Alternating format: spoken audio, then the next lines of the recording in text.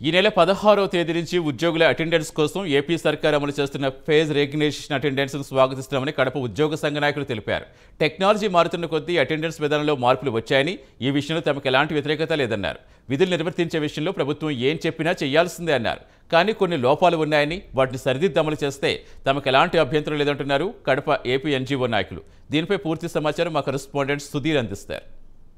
ఆంధ్రప్రదేశ్ ప్రభుత్వం ఉద్యోగుల పట్ల రోజు రోజు కూడా కీలక పరిణామాలు తీసుకుంటుంది. అయితే ఈ నేపథ్యంలో చూసుకుంటే కనుక ఈ నెల పదహారవ తేదీ నుంచి కూడా ప్రభుత్వ ఉద్యోగులకు ఏదైతే ఫేజ్ రిజగ్నేషన్ కూడా అమల్లోకి తీసుకున్న తీసుకురానున్నట్లు తెలుస్తుంది. అయితే ఈ నేపథ్యంలో కూడా రాష్ట్ర వ్యాప్తంగా ఉన్నటువంటి ప్రభుత్వ ఉద్యోగులు కావచ్చు అలాగే అవుట్సోర్సింగ్ కాంట్రాక్ట్ ఉద్యోగులు కూడా దీనిపైన కూడా తీవ్ర స్థాయిలో మండిపడుతున్న పరిస్థితులు ఉన్నాయి.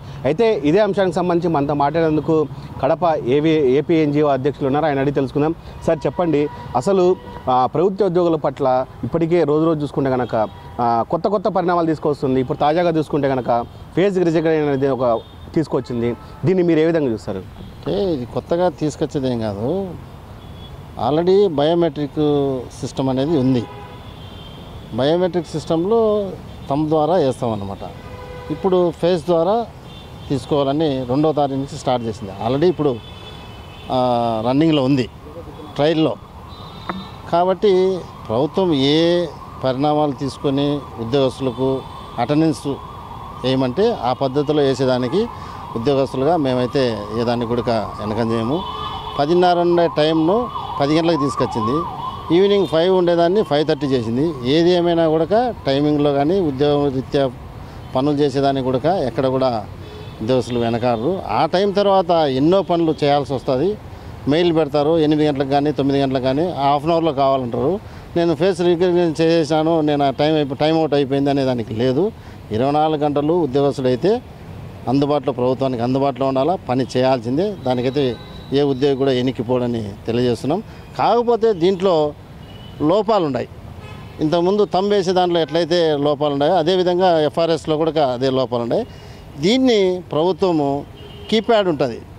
ఇకపోతే చిన్న చిన్న ఉద్యోగస్తులు అటెండర్ క్యాడర్ కానీ చిన్న చిన్న వాచ్మెన్స్ ఇటువంటి వాళ్ళకు అది సిస్టమ్ ఎఫ్ఆర్ఎస్ సిస్టాన్ని నెట్టు ఇవన్నీ కూడా చేయలేవు. కాబట్టి ఆఫీస్లోనే ఆ సిస్టాన్ని తీసుకొచ్చి అందరూ ఒకే చోట వేసేటట్టుగా ఏ ఆఫీస్ అయితే ఆఫీస్లో వాళ్ళకు పరికరాలు కల్పించాలని ప్రభుత్వాన్ని డిమాండ్ చేస్తున్నాం. అదేవిధంగా ఫీల్డ్ స్టాఫ్స్ ఉన్నారు. అంటే medical and health department Panchayati Raj department RNB department irrigation department. వాళ్ళకు ఈ ఎఫ్ఆర్ఎస్ నుంచి మినహాయించి చేయాలనేది మేము మా యొక్క డిమాండ్ చేస్తున్నాం. అంటే ఇప్పటికే కొంతమంది ఉద్యోగులు కూడా దీన్ని కూడా పూర్తి స్థాయిలో వ్యతిరేకిస్తున్న పరిస్థితులు కనిపిస్తున్నాయి. దీని మీద మీరేమంటారు? అంటే ఇది అటెండెన్స్ వ్యతిరేకించాల్సిన అవసరం లేదు. మేము ఉద్యోగరీత్యా ఉద్యోగంలో చేరిన రోజు నుంచి ప్రభుత్వం ఏ పని అప్పచెప్తే ఆ పని చేసేదానికి ఆఫీస్ అవర్స్లో మేము ఉండాల్సిందే. దాన్ని వ్యతిరేకించేదానికి ఎట్లయితుంది? ఉద్యోగం చేసేదానికే కదా మనం అపాయింట్ అయింది. ఇది బయోమెట్రిక్ ముందు అటెండెన్స్ ఉండింది. అటెండెన్స్ తీసి బయోమెట్రిక్ తీసుకొచ్చినాడు. బయోమెట్రిక్ తీసి ఎఫ్ఆర్ఎస్ తీసుకొచ్చినాడు. ఇది ఆఫీస్ టైమింగ్స్లోనే ఖచ్చితంగా మనమైతే పాటించాల్సింది దీన్ని ఓకే. ఇక్కడ మరికొంతమంది ఉద్యోగులు ఉన్నాయి. ఆయన తెలుసు సార్ ఇప్పటికే చూసుకుంటే కనుక రాష్ట్ర ప్రభుత్వం ఎన్నో కొత్త కొత్త ప్రభుత్వ ఉద్యోగుల మీద కూడా ఎన్నో ఆటంకాలను సృష్టించింది. ఇప్పుడు కొత్తగా ఇలాంటివి తీసుకురావడం పట్ల అంటే మీకు ఏమైనా ఇబ్బంది కలుగుతుందా ఉద్యోగుల పట్ల? మాకైతే అలాంటిది ఇబ్బంది ఏం లేదండి. సిస్టమ్ మనం మాకైతే అలాంటిది ఏమి ఇబ్బంది ఏం లేదు. జనరేషన్స్ మారే కొద్దీ ఈ నెట్ టెక్నాలజీ మారే కొద్దీ అప్డేట్ అవుతూ ఉండాల్సిందే. మనకు కూడా మాకు కూడా ఈ టెక్నాలజీ నేర్పించినందుకు ప్రభుత్వానికి మేము కూడా కృతజ్ఞతలు తెలియజేస్తున్నాము. మేము కూడా మమ్మల్ని కూడా సాఫ్ట్వేర్ లెవెల్లో చూస్తున్నారు. బాగుంది. కాకపోతే ఒక విషయం ప్రభుత్వం కానీ ఇంకొకరు బయట వ్యక్తులు కానీ గుర్తుపెట్టుకోవాల్సింది ఏంటంటే అధికారికి ఎంప్లాయీస్ అందరూ ట్వంటీ ఫోర్ బై సెవెన్ అందుబాటులో ఉండాల్సిందే. ఏ టైంకు పిలిచినా రావాల్సిందే. ఏమైనా ఏ పని ఇచ్చినా కూడా చేయాల్సిందే. ఇందులో మేము ఇంతకుముందు పని చేయడం లేదు ఇప్పుడు ఈ టైం పెట్టడం వల్ల మేము పనిచేస్తామనేది అనేది కాదు. ప్రభుత్వము వాళ్ళు అభివృద్ధి చెందింది అంటే ఒక ప్రభుత్వము ఒక పాలక వర్గము చేయడం కాదండి. కింద లో లెవెల్లో ఎంప్లాయీస్ చేయడం వల్లనే అభివృద్ధి అనేది సమిష్టిగా చే చేయడం జరుగుతుంది. అంతేగాని అట్లా చేసుకుంటే మేము పని చేయడం లేదు అంటే అభివృద్ధి ఎక్కడ వస్తుంది? ఎంప్లాయీస్ అందరూ కింద లో లెవెల్లో పనిచేస్తున్నారు కాబట్టి ప్రభుత్వానికి మంచి పేరు వస్తుంది.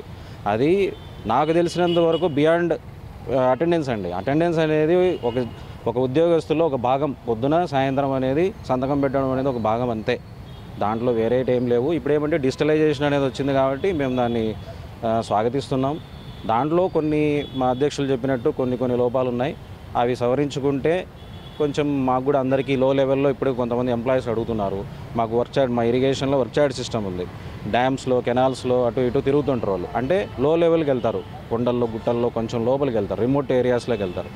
వాళ్ళ దగ్గర అరాకొర జీతాలు వచ్చినప్పుడు చిన్న సెల్స్ పెట్టుకుంటారు. అక్కడెక్కడో వాళ్ళకేంటంటే వాటర్ రెయినీ సీజన్లో అర్ధరాత్రి మెయిన్ మెయిన్ రెయినీ సీజన్లో మనకు కాషియస్గా ఉండాల్సిందంతా మిడ్ నైటే అక్కడ వాళ్ళకు డే అనేది లేదు నిద్ర అనేది ఉండదు ఇంకా.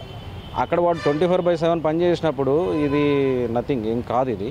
కాకపోతే మాకు రావాల్సిన విషయాల్లో కొంచెం ప్రభుత్వం దృష్టి పెట్టి మాకు మేము మేము కూడా కష్టపడుతున్నాం. కష్టపడడం వల్లనే ప్రభుత్వానికి మంచి పేరు వస్తుంది కాబట్టి మాకు రావాల్సిన బకాయిలు ఏమైనా ఉంటే కూడా వెంటనే చెల్లించేసి అందరికీ అందరి ఉద్యోగస్తులు మనల్ని పొంద పొందుతారని ఆశిస్తున్నామండి ఎంప్లాయీస్ తరపున. ప్రైవేటు ప్రైవేట్ ఉద్యోగులు కావచ్చు అవుట్ సోర్సింగ్ కాంట్రాక్ట్ ఉద్యోగులు కూడా కావచ్చు వాళ్ళ ముందు ఈ ఎఫెక్ట్ పడే అవకాశాలు ఉన్నాయి? ఇక్కడ అవుట్ సోర్సింగ్ కాంట్రాక్ట్ అనేది ఏం లేదండి. అందరం సమానమే అండి. ఎవరైనా కూడా ఆఫీస్కి టైంకి రావాల్సిందే టైం అయిపోతానే బయటికి వెళ్ళాల్సిందే. ఆఫీసర్కు పైన నుంచి ఏదైనా ఒత్తిడి ఉండి తొందరగా టైం టు టైం ఏదైనా రిపోర్ట్స్ ఇవ్వాల్సిందే అంటే ఇంకొక గంట స్పేర్ చేసైనా వెళ్ళాల్సిందే తప్పదు అది కాబట్టి అందరం సమానమే ఇక్కడ. ఓకే రైట్ థ్యాంక్ యూ ఇది మొత్తంగా చూసుకుంటే కనుక కడపలో ఉన్నటువంటి ఏపీ ఇంజనీర్ నేతలు అయితే ఒకటి డిమాండ్ చేస్తున్నారు. ఏదైతే ఈ నెల పదహారవ తేదీ నుంచి వైఎస్ జగన్మోహన్ రెడ్డి ప్రభుత్వం పెట్టింటే ఫేజ్ డిజగ్నేషన్ కూడా పూర్తి స్థాయిలో స్వాగతిస్తున్నామని అసలు దీంతో కూడా ఎటువంటి ఇబ్బందులు ఉండవని చెప్తున్నారు. అయితే ప్రభుత్వంతో మాకు చిన్న చిన్న సమస్యలు ఉన్నాయి తప్పితే ఇది మాకు అసలు సంబంధం లేని విషయం అని చెప్తున్నారు. దీన్ని పూర్తి స్థాయిలో కూడా స్వాగతిస్తామని చెప్పి ఇక్కడ ఉన్నటువంటి ఏపీ ఎన్జిఓ నేతలు చెప్తున్న పరిస్థితి. వీడియో జర్నలిస్ట్ రాముతో సుధీర్ ప్రైమ్ న్యూస్ కడప.